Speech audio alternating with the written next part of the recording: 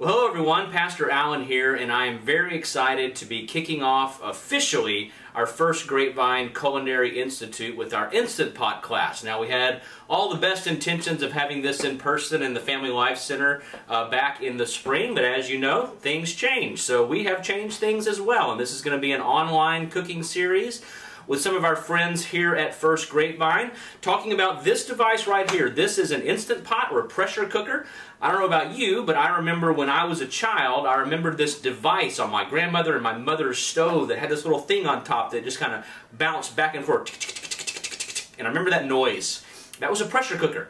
And they've come back into style. A lot of chefs use these because it can pressurize the contents of this cooking device and really tenderize meat and cook things a lot quicker uh, than you otherwise would want to. So we're going to have a series of uh, individual recipes and cooking classes with me and some friends here from the church to show you how to use this device. Uh, we also have two of these in a box, brand new, to give away. So that's a contest. And what the way to get entered into the drawing for that contest is to either comment below this or any of the classes on social media uh, platforms to let us know that you're watching. Send us an email to let us know that you're watching. Or if you haven't already done so, please sign up and subscribe to our YouTube channel. So after all of that's done through the course of this, we will be drawing two lucky winners uh, for brand new Instant Pots um, following the day after the last class that airs. So what is an Instant Pot? Like I said, it's a pressure cooker. It's a multi-cooker actually. So this is a rice cooker.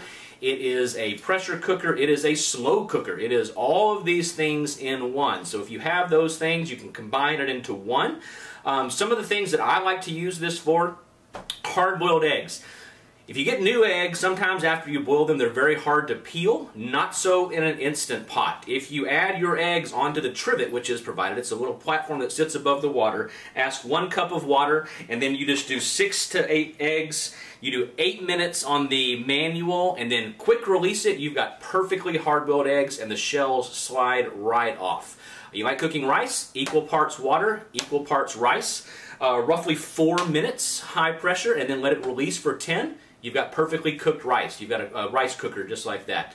Uh, much of the, the, pot roasts and chilies and those types of things also work in this. It is, a, it is a great device, and we are certainly looking forward to this. This is also a way to do dried beans. You can put frozen meat um, into this and cook it straight from the freezer for shredded chicken, shredded pork, and those types of things.